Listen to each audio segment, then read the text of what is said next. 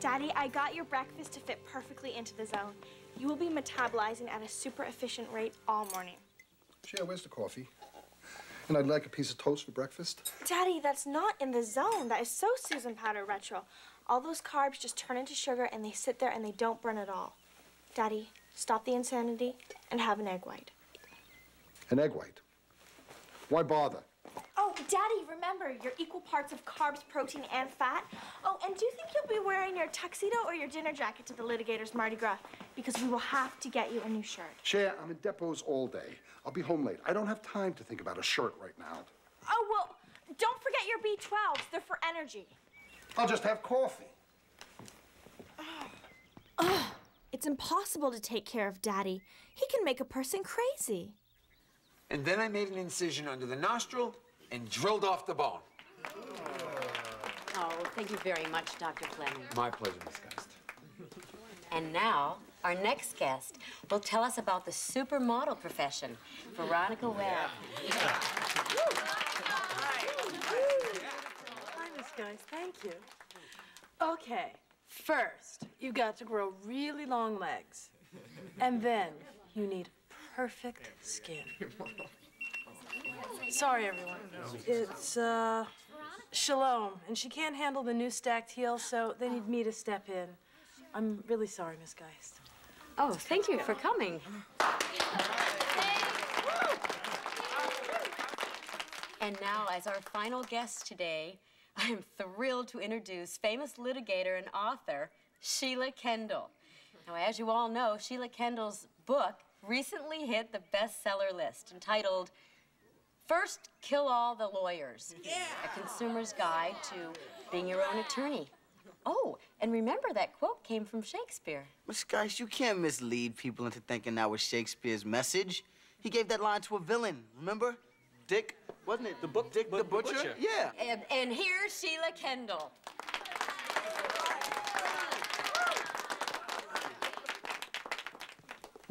After certain verdicts come in, everyone always asks, how? How? Why? How can such a travesty of justice occur? Well, my answer is, and always will be, There's something familiar about this, Sheila. Something. Oh, I get it. She's like a girl version of Daddy. Wow, that Sheila Kendall is really intense. Oh, much scarier than on TV. I think Sheila Kendall is a really interesting woman. She might really enjoy meeting my dad. Oh, no, Cher, don't go there. Those women lawyers are more high-strung than Nicole Kidman's pre-Tom Cruise hair. Yeah, they know exactly what they want, and there is no arguing with them. Uh-huh. Well, That is exactly what Daddy needs. Now, what really infuriates me about Judge Cohn's ruling in the Kurtz Addison case is that the very point of the writ of habeas corpus is the court engendered secession of unlawful restraint. That's right. Yeah, all right, bye. Daddy, have you ever thought about dating again? Huh? What are you talking about, Sharon? Well, don't you ever get lonely? Wouldn't you like to meet somebody? Well, of course, honey, but you know, eh, it's not that easy. Uh, see how it is? I can't let up for a second. Yeah. No, no, no, no. No way, no negotiations. We'll take him straight to the steps of the courtroom. Make him sweat. All right, later. See? How am I going to find time to meet somebody? Well, maybe if you met somebody already in the legal field, then half your work would be done. Cher, what are you up to? Nothing. Oh, by the way, the coolest person came to speak at our school today, and she's a lawyer, too. Maybe you've heard of her, um, Sheila Kendall? Sheila Kendall. Uh, she's the one who wrote First Kill All the Lawyers. I don't like her. I don't like her politics. I don't like her work. I don't like her clamoring for publicity. Well, she dresses really nice. Maybe if Sheila Kendall spent more time pre screening her jurors and less time pre screening her wardrobe, her last trial wouldn't have been such a circus. Daddy, you need friends with similar interests. Cher, I couldn't be less interested in the interests of that media floozy. Yeah. Uh huh. Well, I'm waiting for them. Where are they? How am I? How am I supposed to go into a meeting? Good start.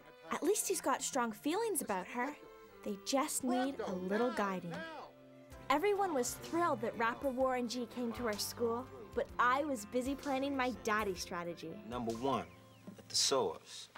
You know. Number two, a complete rhyming dictionary. Number three, a mini tape recorder. Also, keep in mind, and uh, for more archaic selections for the people with a deeper love for etymology, I prefer Roget's. For example, Well, Daddy seems a little reluctant, but I'm sure if I can just get them together, their obvious compatibility would just take over. Cher, how are you gonna do that? Easy. I phoned her publicist and she's on book tour. Oh, and guess where her third stop is? The Coffee Book and Tea at the Beverly Center. Not for nothing, Cher, but I think you need to get back on the monorail because you are so in fantasy land. I did look pretty natty in it, didn't I? Oh, you will look so handsome at the litigators Mardi Gras. Hmm.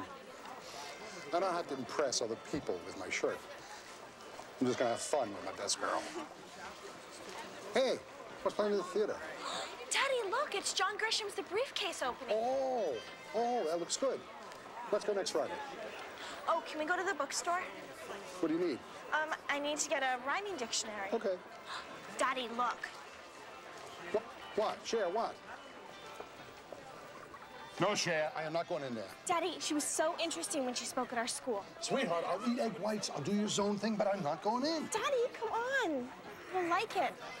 Brilliant. You are the most profound legal mind working in the country today. I did my own divorce. I got rid of my psycho ex-husband for $200. Miss Kendall. Hi, you spoke at my school. Oh, it was so interesting. I just had to come out and get your book. Oh, nice. Who shall I sign this to? Oh, could you sign it to my father, Mel Horowitz? He is a totally prominent attorney. The Mel Horowitz. Well, it's a pleasure to meet you. Miss Kendall, your book is an affront to the legal profession.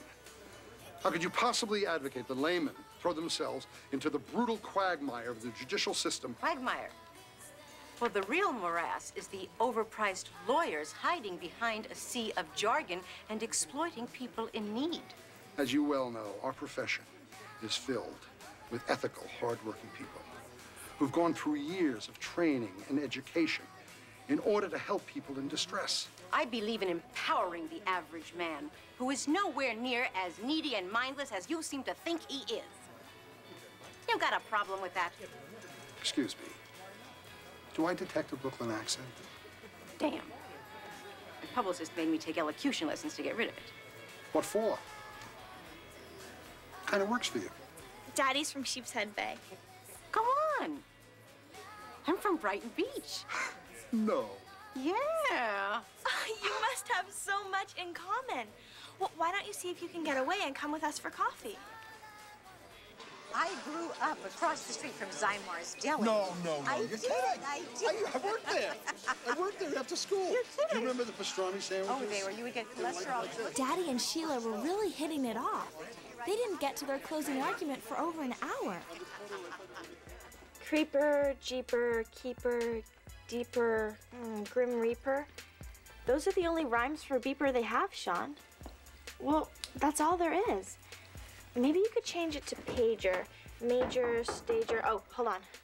See you later, honey. Where are you going, Daddy? Dinner with Sheila. Oh, cool. Sean, I gotta go.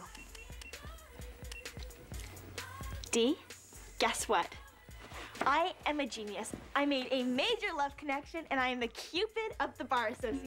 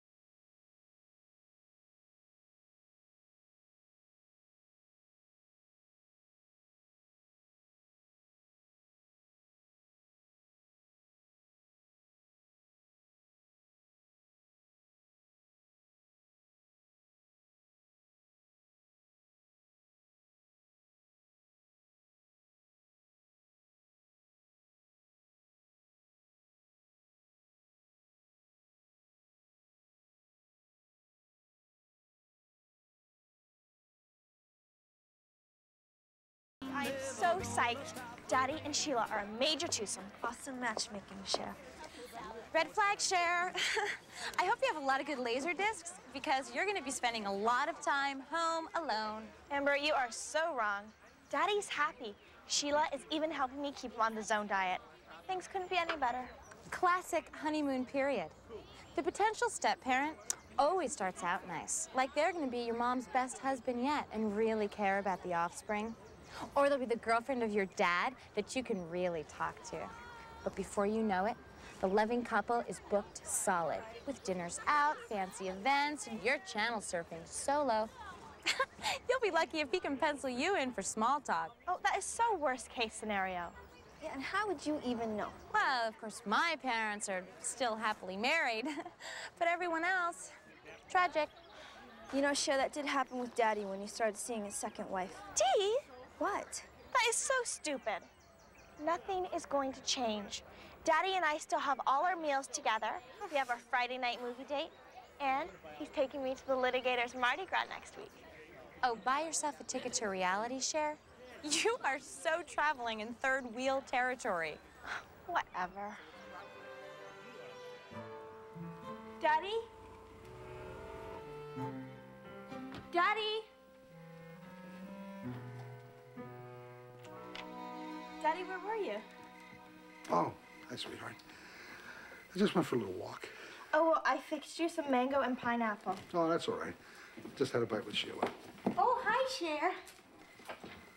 Cher, you were so right. This scarf really brightens up the coat.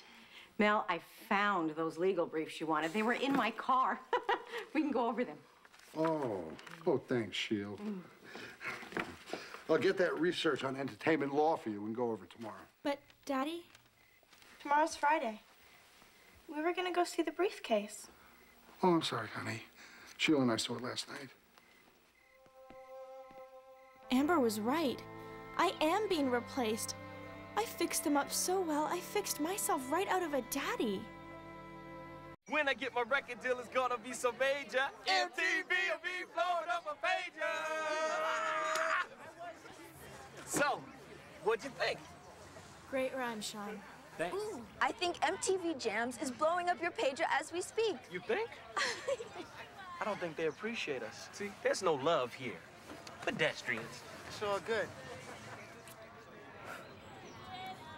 So what happened? It's awful. They walk, they snack. He even took her to see the briefcase. Oh, Cher. And that movie was so good.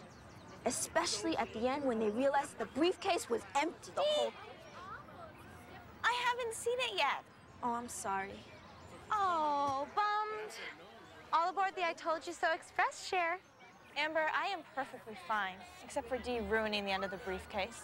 Ooh, I can't wait to see that. It's, empty. So, Cher, what are your plans for the night your dad takes Sheila to that big Mardi Gras dance? My plans? Dancing with Daddy. Return the dress now, Cher. The less time that it spends in your closet, the less disappointed you'll be. Hey, Amber, do you have to rent out storage space for all that negativity or what? What?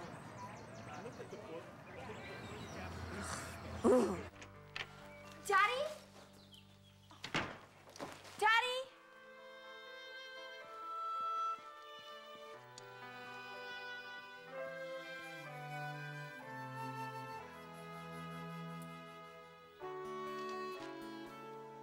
Sheila, honey, I'll pick you up at 9 on Saturday.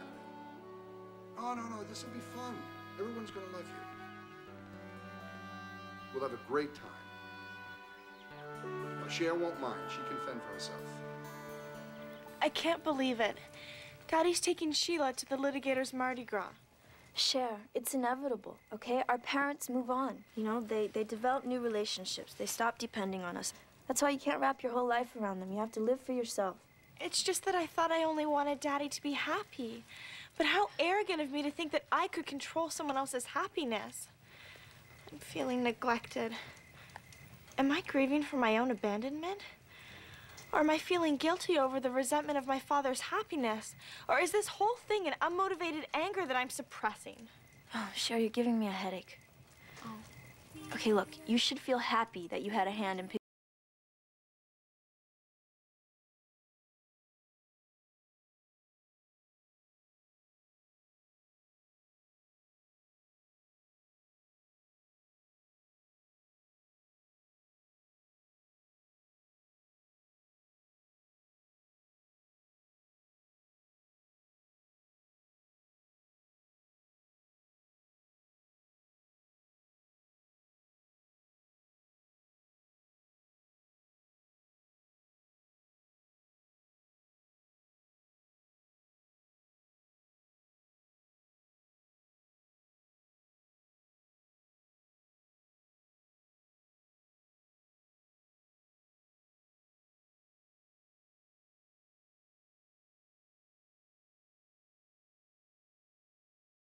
are busy and Daddy's going to the party without me.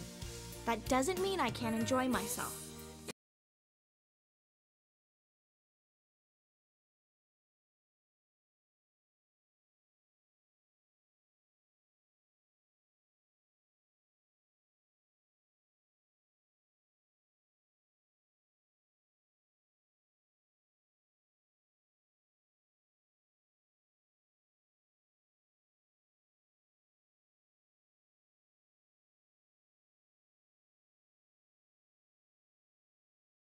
Oh, your shirt looks nice. What are you doing, Cher? Well, I'm putting your cards in these airtight plastic covers and arranging them by team and year. That way they'll last longer and you can find them easier. That's nice. But don't you think you should be getting dressed for the Mardi Gras? I thought you were taking Sheila. Sheila? Whatever gave you that idea? I guess I thought I overheard you say you'd pick her up Saturday at 9. That's right. this morning 9, while you were at softball, Sheila and I met with some of the guys from my firm for breakfast. Oh, You thought I would take someone else without even telling you? well, I thought that maybe you got distracted and forgot. Honey, this is our tradition. Well, you've seemed a little preoccupied lately. Cher, you do not get preoccupied out of a tradition. You and I have been going to Mardi Gras together since you wore pigtails and baby doll dresses. That was last year, Daddy. Smarty pants. I meant when you were a baby, not just making a fashion statement. Look, I know I've been spending a lot of time with Sheila, but you were right. I need friends with similar interests. No matter what else I'm doing or, or who else I'm seeing, you'll always be my little girl.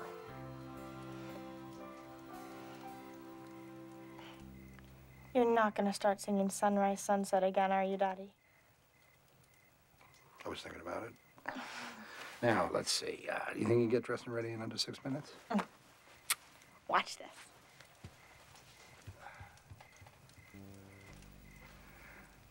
Is this the little girl I carried? Ah, da, da, dee, da, dum. The litigator fiesta was totally off the hook. I pigged out on ribs, broke a heel dancing, and I won the hugest teddy bear in the karaoke contest. It didn't really fit the decor in my room, so I insisted Daddy give it to Sheila to remind her of him while she was on her book tour. He still needs me to help him with these things.